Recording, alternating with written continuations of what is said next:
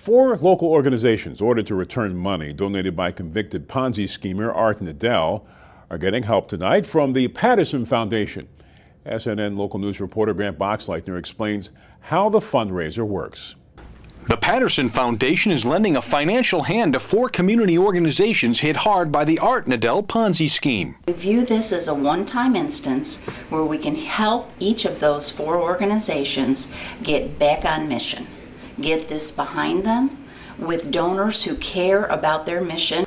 Girls Inc., Jewish Family and Children's Service, the Sarasota Opera House, and the Diocese of Venice are under court order to pay back more than $1.2 million donated by Nadel before his hedge fund Ponzi scheme collapsed in 2009.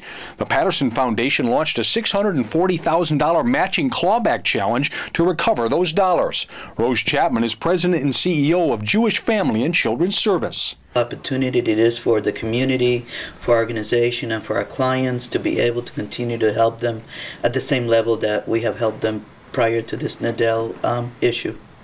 The four organizations will each work to raise the other half. Girls Inc. Executive Director Robin Rose praised the foundation for assistance during difficult financial circumstances. An amazing testimony of their belief and faith in all of these agencies and about giving them that ability to, to move on and to put this behind them, to recoup some of those monies. Patterson Foundation CEO Deborah Jacobs says she's confident the community can step up to raise the balance. The Patterson Foundation is confident that this challenge will work is because we live in a community where the philanthropic heart beats strong.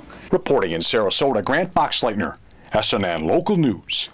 Art Nadel died in prison in April of 2012 at the age of 79. He was serving a 14-year sentence for pleading guilty to 15 counts stemming from a Ponzi scheme that cost investors $162 million.